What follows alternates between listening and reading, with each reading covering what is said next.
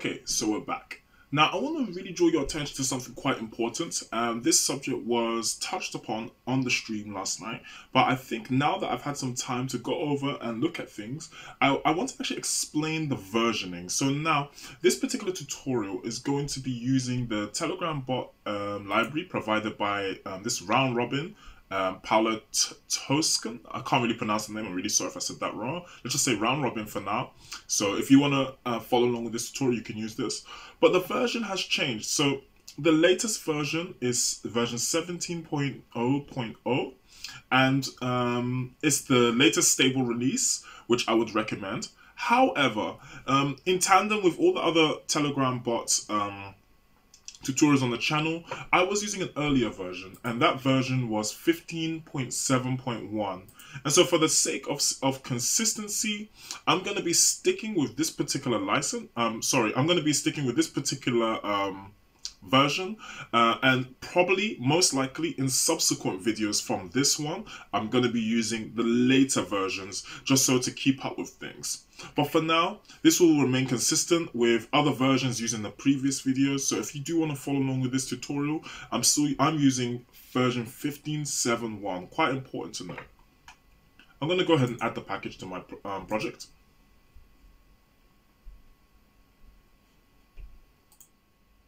Okay, so I've gone ahead and installed the packages and um, you'll notice if you're using the same version that I'm using in this particular walkthrough that there is an update available. Um, we're not going to want to update, but for since we're dealing with UWP in this particular um, walkthrough, the front end framework is going to be UWP. C Sharp is the is the language you're using. I'm going to go ahead and update this Microsoft.NET Core package and just make sure I click that. And I'm going to um, just make sure that's the one I've selected. Oh, that looks a little bit strange but let me just hit update. Excellent. So that .NET package has been updated. So now I'm gonna turn away from the NuGet solution and we're gonna work with a clean slate. I have some notes available with me uh, courtesy of some uh, a demo project I have just so I can keep things um, in check. So how we're going to do this, we're going to maintain things in one particular pro um, project. And I've gone ahead and called this Payment Spot app, but you can call your UWP app whatever you want.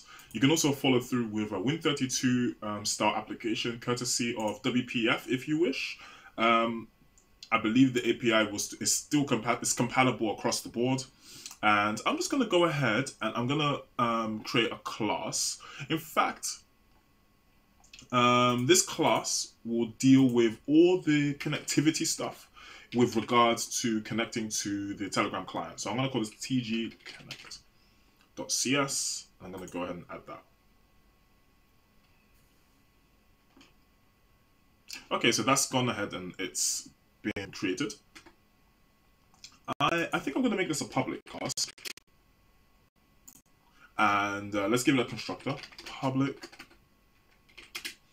TG Connect. So we'll deal with some of the back end uh, first, and then we'll swiftly deal with the front end because this app, this with this tutorial, uh, I don't want to just show you the syntax because it's very simple. Actually, it's literally just about one line of syntax to actually pass um, an invoice to the Telegram client. But what we're more concerned with here is the overall package. It's it ties in with the user experience and the kind of application that we want to tailor for ourselves to make repeating certain functionality simpler to implement than having to deal with writing the code base all the time. So we're kind of dealing with the overall bigger picture here. So without much further ado, I am just going to swiftly uh, check out my screen and we're going to need some kind of object to store our invoices and um, invoices refer to the transactions and uh, it sort of encapsulates the service we're providing, um, the price and description and the name of the product. Um, with regards to the with the API we're using, Telegram bots. So what I'm going to go ahead and do first, I'm going to add the namespace. It's always a good place to start. Telegram bot. And I am going to go ahead and create a private list of Telegram bot types. payments invoice. I forgot. Uh, I forgot the accessor. And let's close invoice this. Okay.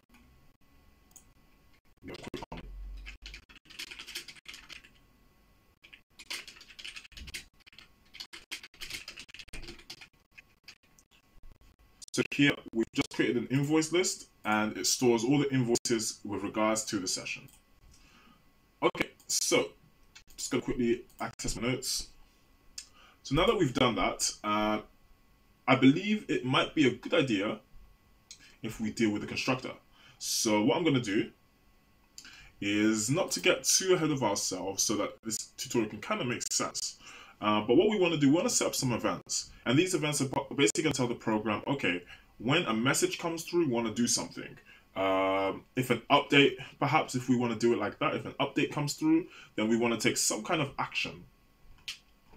So uh, the first thing I'm going to do actually, uh, I said deal with the constructor, but instead I'm going to I'm going to make a, a function called public void establish connection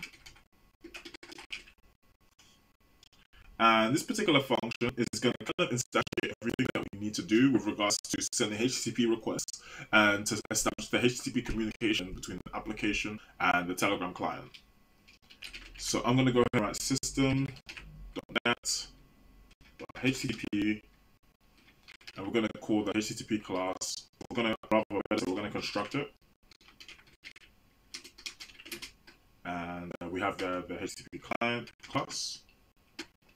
Ah, yes, there's one more thing we need to do in the field level at least. And we're going to create a bots object. So this bots object will basically allow us to access the class known as Telegram bot clients, which will give us the majority of our functionality with regards to, um, excuse me, with regards to our Telegram botting. So I'm going to go ahead and make a static, a private static Telegram bot client, and I'm going to call it bot negative access members.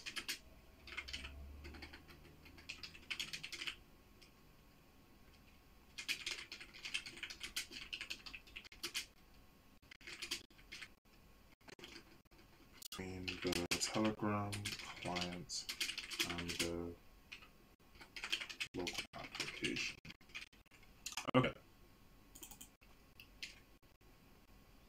wait for Visual Studio just to catch up. taking a little bit of time. Sometimes my Visual Studio session may just um, lock up a little bit. Um, but anyway, let's just get back to things.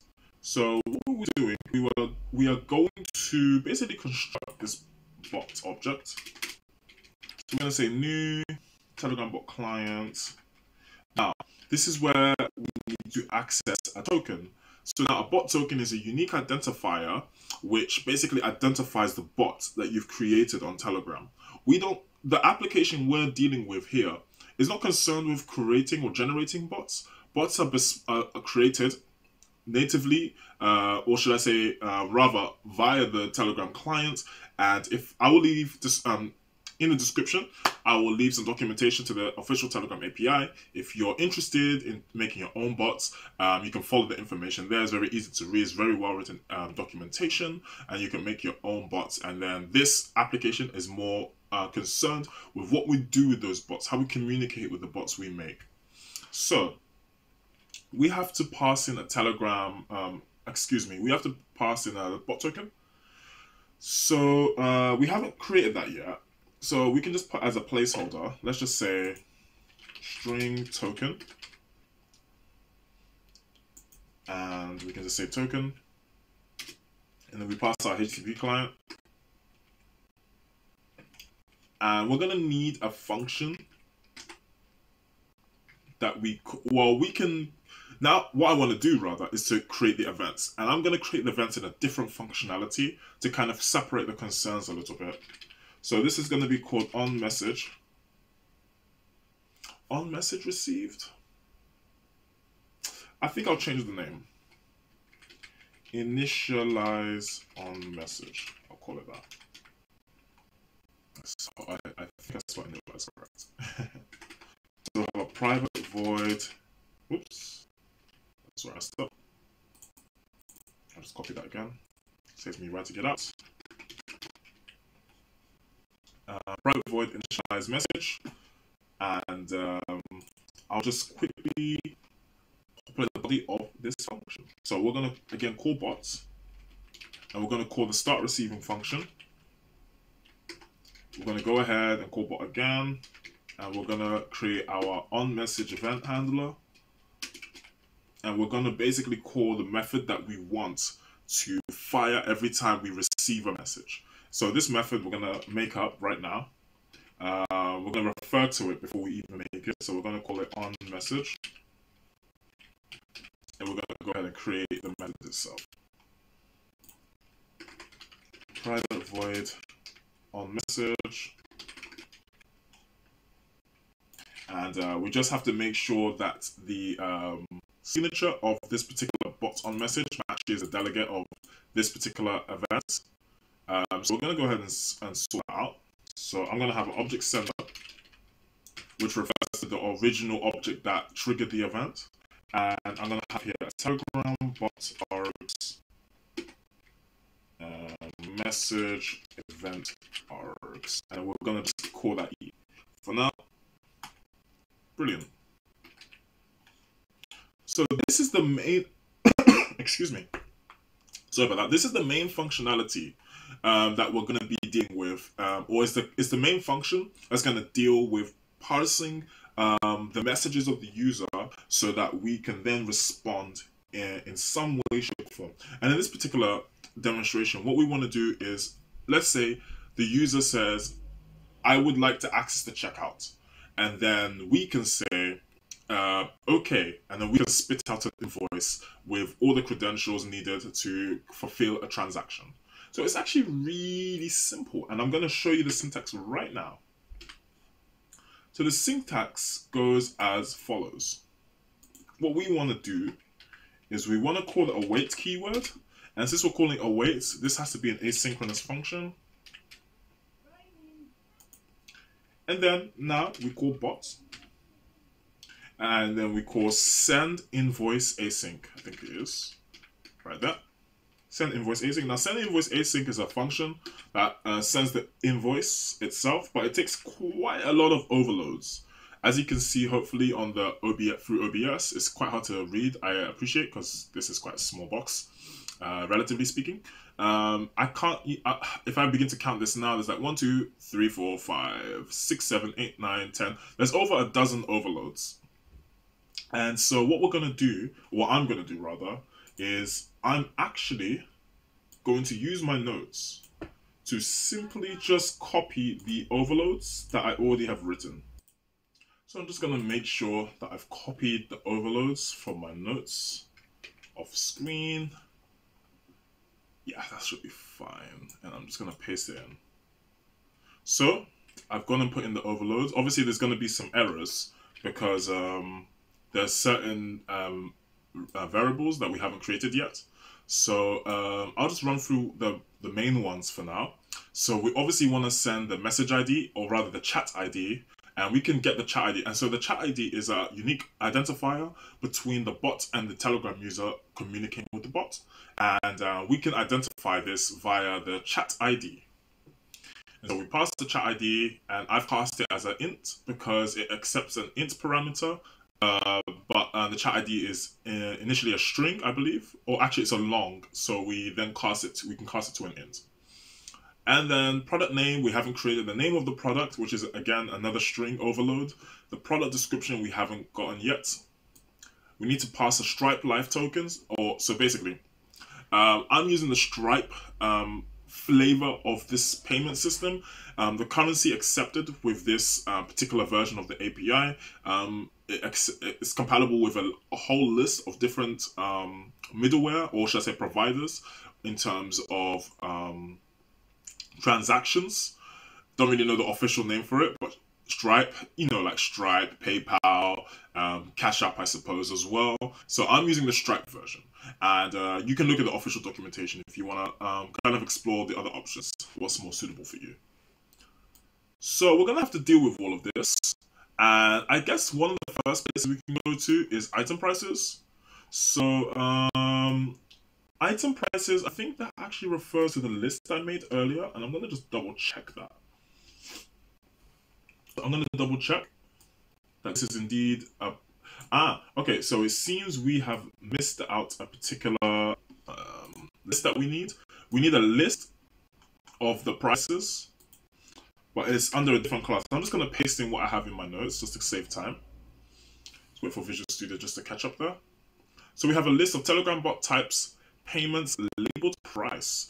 And this is called item prices. Uh, I guess I should call it item prices list, but it doesn't really matter for now.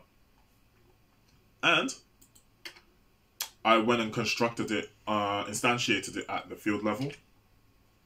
So I'll just go ahead and save that. So I think that should take care of that error. Yep, item prices, product URI. Uh, I'm gonna just double check what this wants. So a URI of the product photo for the invoice can be a photo for the uh, image of yeah. So basically, an image for the um, for the product. I I don't know if we can pass a no because for now I'm not too interested in passing a, U, a URI string for a thumbnail but I, I do have a Dropbox with some um, URI um, images in terms of the links. But for now, what we can just do, just to save time, we can pass an empty string. So I'll go ahead up here, just paste it for my notes same time. URI, um, we can populate that at a later date. So just dealing with all these overloads one by one a lot of these overloads you can just go ahead and put false false um, cancellation token um, new. I'll just go ahead and scan through this really uh, as I'm going so you can follow through with the overloads. Got the product URI item prices and this will all kind of depend on your needs as well. Your stripe line to stripe token won't be the same as mine. Your bot token won't be the same as mine. Your message chat ID won't be the same as mine but some of the general gist you understand as we go through this. So product description um, that's probably going to be a string that we will populate via the main user interface. And we're going to go through that in a, in a hot minute. So what we'll do just to uh, make the compiler happy, we are going to make an empty string of the same name for the, um, for the variable accessing string. Product description, we'll do the same for um, product name, just to kind of uh, placeholders for now just so we can at least compile the project. So I will just go ahead and grab the product name.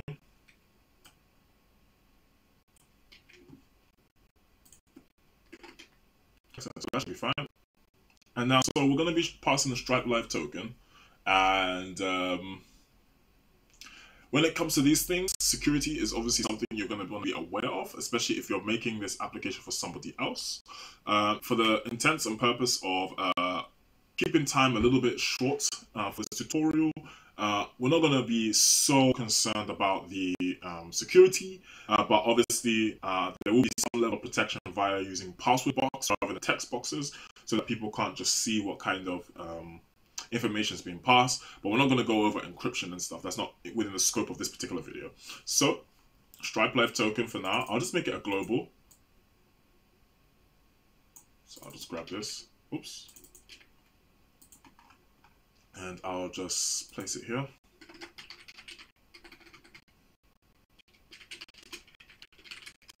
Stripe Live token equals string.empty. So you get the general idea. To pass a string containing the stripe token. So holds the stripe token for the application. So now that we've, deal, we've dealt with the majority of what's going on here, let's go ahead and call the established TG function in our constructor. And we're going to pass in a um, token and this is going to be the bot token. And this bot token we're going to get from a different part of this uh, application, namely the user interface. Excuse me. So um, let's go ahead, speaking of user interface, let's go ahead and deal with, with the UI. So I'm gonna go to my main page. And I'm gonna access the XAML. So just clicked it now and uh, it takes a little while to load up. So while that's happening, what I'm gonna do is actually turn your attention to my website and because on my website I have this um, category called free XAML packs. And now what I've opted to do is some of my XAML designs, uh, I am just uh, kind of like this design, which is not available yet, but it will be in the future. Uh, I have some of my XAML designs here and I just dish it out. You know, if anyone wants download the uh, source code. The source is right here. Um, as an example, this UWP, I called it a simple cards layout, as you can see here. We're going to kind of borrow this design. So I'm going to click on the button, the entire XAML is here. I think if, if I do Control A, I can get everything at once. Yep. Copy. And then I can just put that away. And I can see that the um, designer view is not up yet. So I'm just going to wait uh, for however long it might take uh, before maybe just a few seconds and then just I'm going to pause the video and unpause it. I thought it might be a good idea to just kind of show this. So um, usually this happens a lot when I load the XAML Designer for the first time in UWP. I get this kind of unhandled exception error. I just usually just click here to reload the designer. And uh, if this doesn't, if this brings up the error again, usually just control build, uh, run the program once and it just loads up. Um, usually just, I think the cache or something just needs to be refreshed or something like that and we have our main window. So I don't know if it was a coincidence or not, but as soon as I started typing into the grid to get a name, it came up. So maybe I had to just kind of uh, wake up the. So anyway, we're going to go and give this grid a name. I'm going to call it main grid, capital G there for grid. And what we're going to do is, um, I've already copied my, as you saw, my um, XAML from the XAML pack. And uh, I'm just going to paste it straight in. I'm going to put it inside the grid. And any second now, the markup should update. So I'm just going to wait for my XAML to catch up. And boom, there it is. So we have our XAML and uh, uh, it's all there. So just make sure everything is somewhat consistent. Um, the grid is here. Where are the bounds of the grid? Just want to see. It's going to scroll up here. And in fact, it might be easier on the eyes if I animate this on a vertical split. Uh, yeah, everything's there. Okay, that's fine. And let me just maybe zoom in. So we're not going to do too much here because a lot of this information we have in user interface we're not going to need per se really uh, for this example. So what I'm going to do, I'm going to just home in here in the header button in this, this particular stack panel with all these different elements. And I'm going to choose this button. And I'm going to give it I'm going to change the name. I've misspelled menu, so I'm going to uh, amend that on the XAML pack. So menu button. Um, let's say add, or rather not add, because we already have bots. So link bot. Uh, uh, that's the name, isn't it? It's not the content. So link bot bot button. And for the content of this button, we're going to say link bot. So when the user clicks this button, and when I say user, I'm not referring to the Telegram user. I'm referring to us that are managing the bots.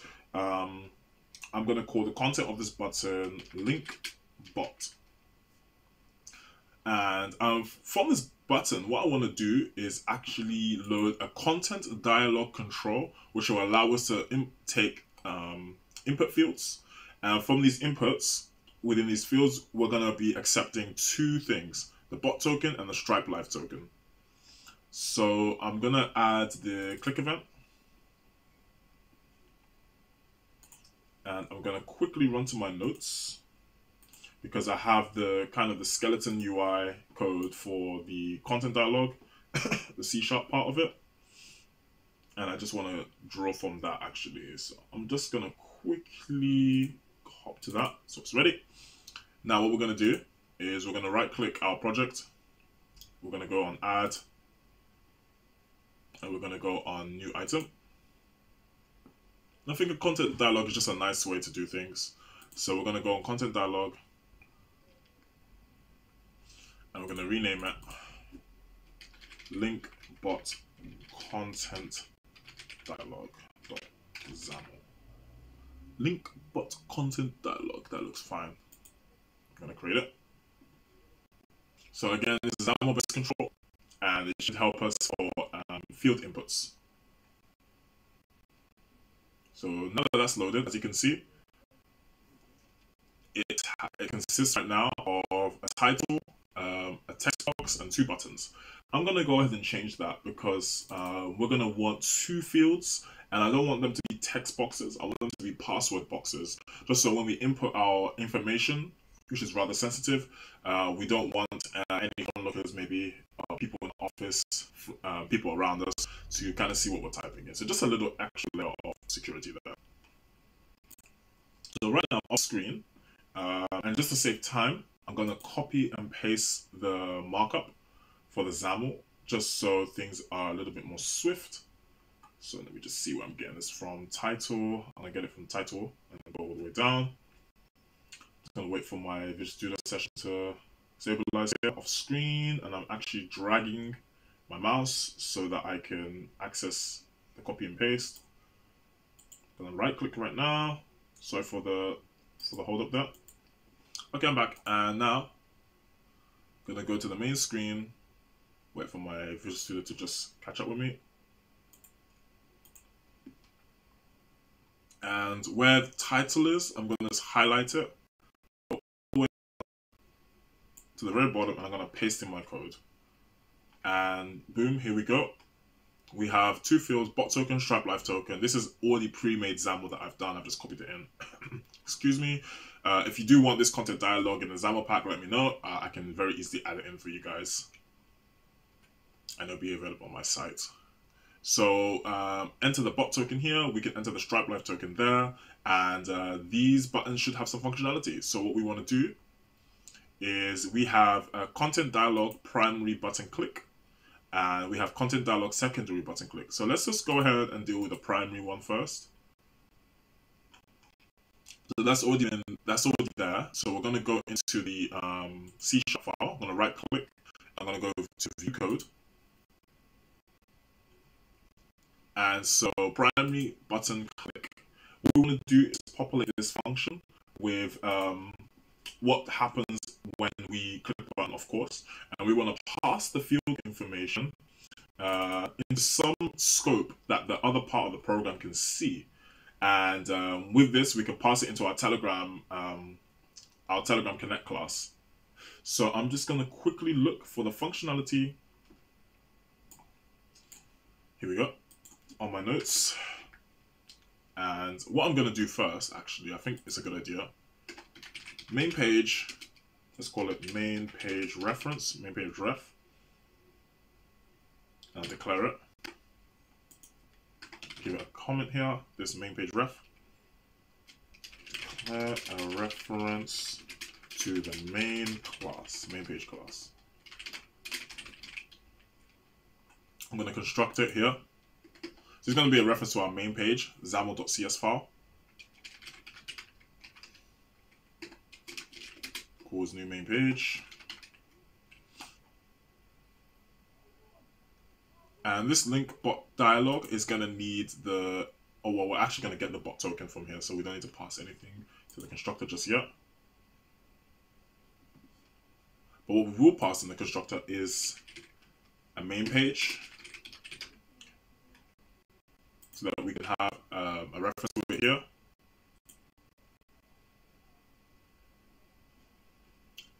What I'm going to do, instead of constructing a new main page, uh, I made a mistake. We're going to just pass in main page. So now we have a reference to the main page in global scope of this class. I'm going to go back to primary button, um, the, the um, event function main page ref. And uh, what we're going to do from here is there's a variety of things we can do. So we have the content dialog, or rather, we have access to the fields. So if I say, let me see if it's under sender. I'm not too sure. I'm to check. Oh, does it say content? Oh, maybe it's here. Maybe we can actually access it from here. So I'm just going to check. But we have password boxes, so I'm not too sure. I'm to play around with that for. So what we're going to do is just say this, And the name of my fields I've already got from XAML. So I've got the bot token password box. I've got the Stripe Live token password box. Let's go with the um, with the bot token password box. Text. Or oh, sorry, it's actually password. And we're gonna pass this to the main function. So we're gonna say main page ref, and we're gonna say bot token.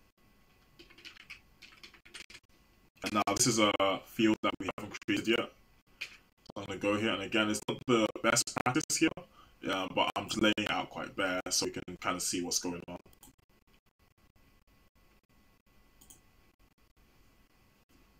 So in the main, I'm gonna make it public this time. Public string, and this will have to be. This is better. This is better to be like you know, yeah, different class somewhere, but just for the sake of time, token string string dot empty stores the value of the bot token. Okay. So how you deal with the security is up to your application. Gonna go back to the link bot token dialog um, CS file. So I've passed the um, the password, which holds the bot token there. I'm gonna do this for Stripe Live. I say Stripe. I'll just say Stripe token. And I'll write Stripe. Stripe Live password text box. Or password box. Oh, text block. Sorry, that's the wrong thing. Password, Stripe Live token password box password. Now go ahead and just create this.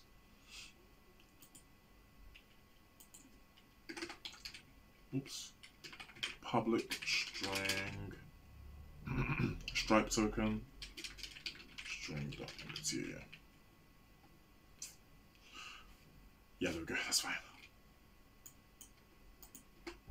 Oops. I'll just make a quick comment.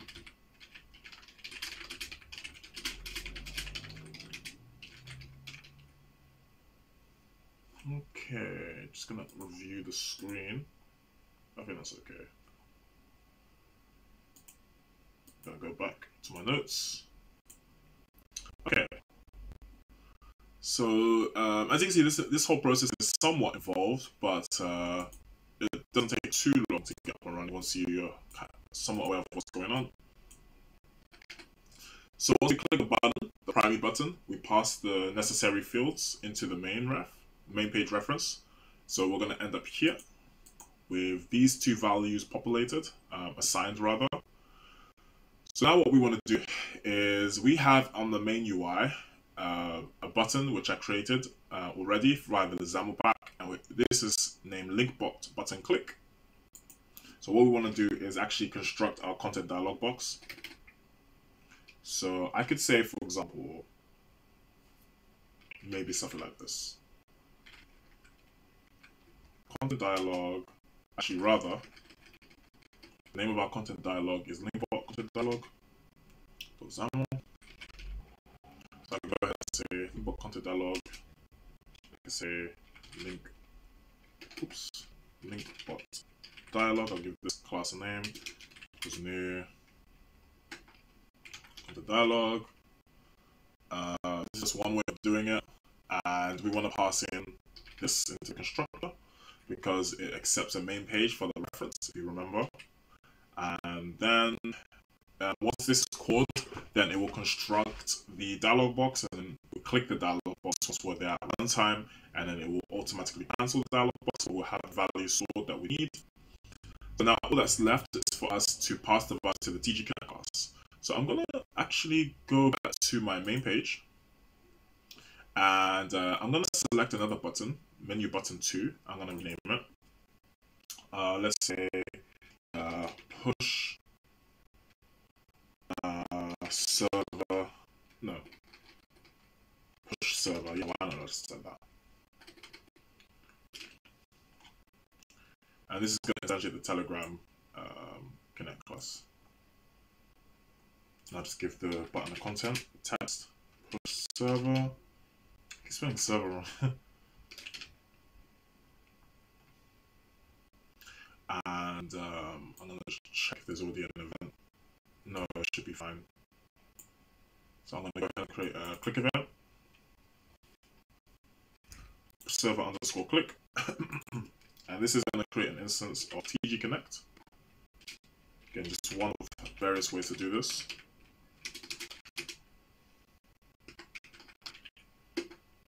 And uh, if I just quickly go to this class, I want to see if there's anything. Uh, okay, so this CORS established TG connection. So we have to pass the bot token. So what we're going to do, save this bot token, we're going to pass it straight away. And so once we call this function, let's wait for uh, Visual Studio to finish. It's going to come to the constructor, it's going to construct this class, establish TG connection, pass in the bot token. It's going to establish a HTTP client. This is going to deal with most of the, uh, the majority of the HTTP um, connectivity between our local application and Telegram. We're going ahead and construct our bot object and calling a method that we create called uh, initialize on message, which is down here. We set up our on message event, and now once that's, once this is um, instantiated, we can now receive an event via user sent messages. And what do we do? We are, oops, simply just sending an invoice. So before we go ahead and test this, what I want to do is add, add one extra layer. And that is some sort of validation to say, hey, um, I'm a user and I want to pay for something, a service or a product. So we can just say something like this. This is very this is a very simple example, but uh, excuse me, but um, depending on your application and your needs, uh, it could be um, completely different. So we're gonna go ahead and just access it, the message event args. We're gonna go for message,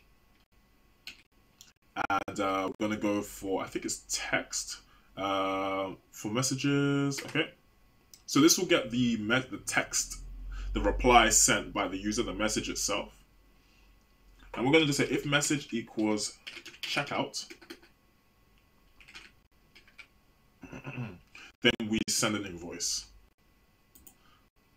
And remember, uh, if you, you or actually, I wouldn't say remember because I, I didn't mention it in the first place. Uh, let me just see what's going on here. Uh, identify expected, if E doesn't... That's a strange. I don't think I can do anything there. If e-message equals checkout, I don't know why I'm getting error there. It's kind of weird. Let me just build this. Oops. Control shift build. Control B. Anyway, uh, I lost my trail of thought. So what we want to do is maybe just send a message first to the user, and then we would expect some kind of reply. And so we can do that um, um, via another method in the bot class. Um, but instead of send invoice async, it's going to be something like send message async. So I'm just going to wait for my build to finish.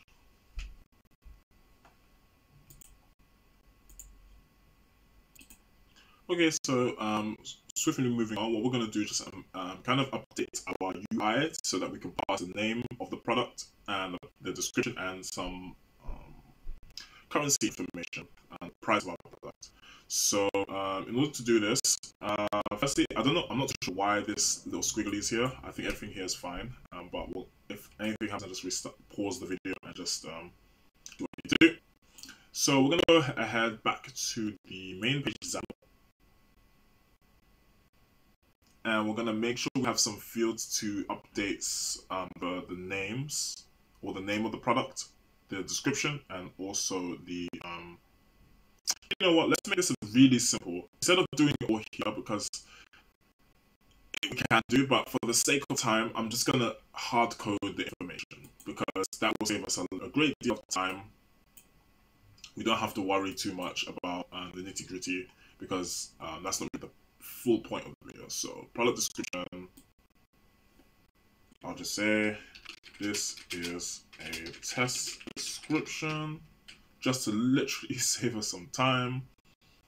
Um, product name, in a similar vein, this, I'll just say test name. Test name. Okay.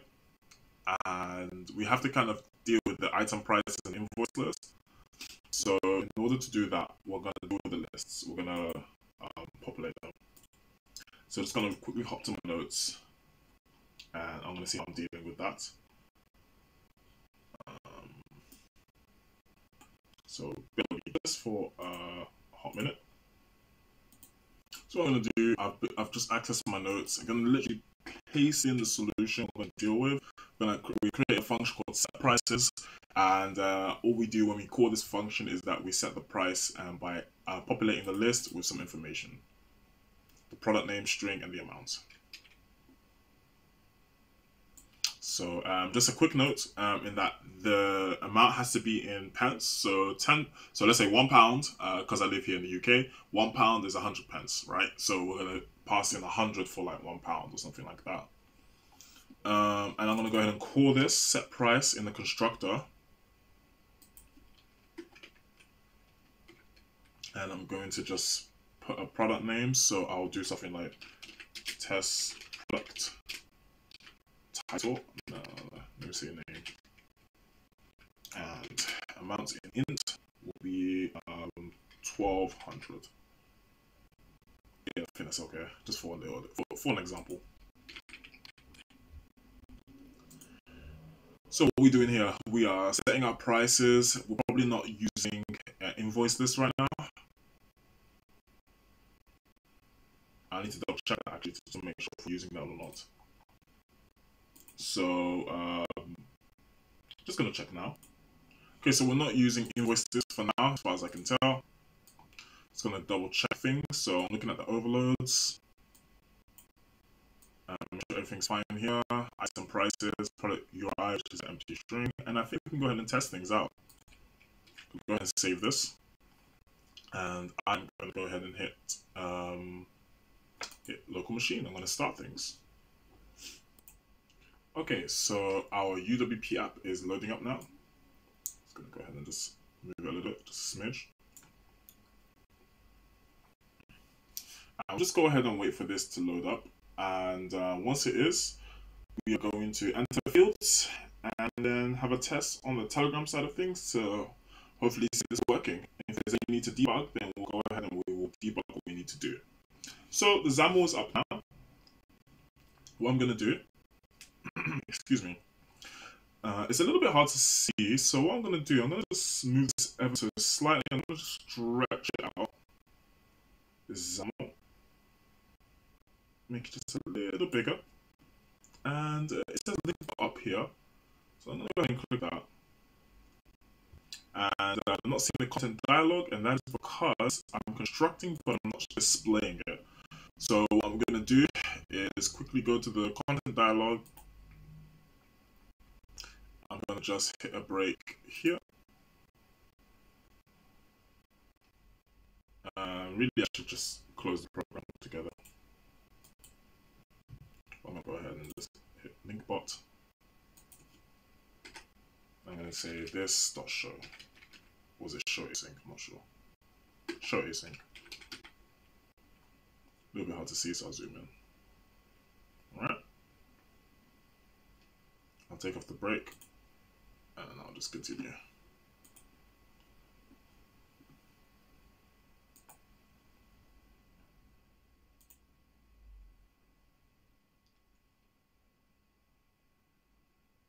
So now we have our content dialog box showing up, as you can see. And off screen, I have my credentials. I'm going to go ahead and just place that in. It's going to make sure the password box is actually um, a password box. uh, just going to do that quickly as soon as my application um, decides to run with me, that's fine. As it was just a little bit frozen, it seems, just for a. So I'm going to go ahead and first, why don't I get my bot token? Place it in the field. I'm going to get my stripe token. And just going to copy it, literally copy and paste. I'm going to go ahead and click link. That's all done and dusted. So now we're going to push the server. And we're just going to wait. You can see some activity. Well, it's a bit hard to see. because uh, I'm blocking the view, but there was some activity in, in the output window on the bottom right. I'll just, uh, even I can't see it on my side of things. Okay. I can't really touch the XAML right now because it's really, um, it's still loading all the, it's pushing to the server basically. It's uploading to the Telegram the, what it needs to do. So in that moment, the application kind of locks up as it's doing what it needs to do. And here we go. So as of now, the Telegram bot should be ready. So let's jump straight to Telegram. We got our bot up. I'm gonna say hi to instantiate. And uh, now what you want to do, you want to instantiate conversation with the bot first. Um, and then once you do that, we didn't have in place anything to any kind of response from the bot to say hi, welcome to the checkout. I forgot to put that in. So what I'll do is I'll quickly write checkout because I remember that's the keyword that I implemented as a validation and hopefully it will um, bring us the widget we need for the um, payment. If not, no problem. We're going to go ahead. We're just going to go back to the program. We're going to debug and see what's going on. So I'm going to go to my um, Telegram Connect. Check out, make sure I spell that right. I'm just pay it uh, hit a break there. And I guess I will also hit a break on the, uh, where we're construct. Oh, there we go. Our message has been hit. So if text equals shout,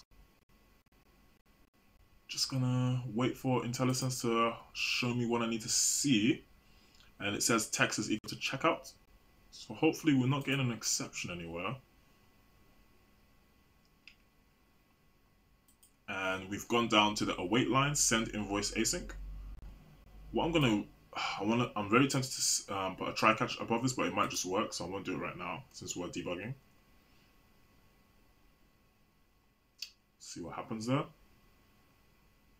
And that seems to have gone through, so let's go and check our Telegram session. I'm Gonna get up now. Not seeing anything at the moment. and we have an unhandled exception. Bad request, provider token is required. So we're going to make sure and see, uh, I, I don't think I actually passed the token to the TG Connect class. There's one token I forgot. I think it's the Stripe one, yep. Just make sure the bot token has been passed. So without Stripe token, you won't be able to, um, the bot is already been passed we get to the stage, but I didn't pass the Stripe token. So I'm going to make sure we're constructing the TG Connect class that we are passing the Stripe token. So I'm gonna go and just stop the program quickly.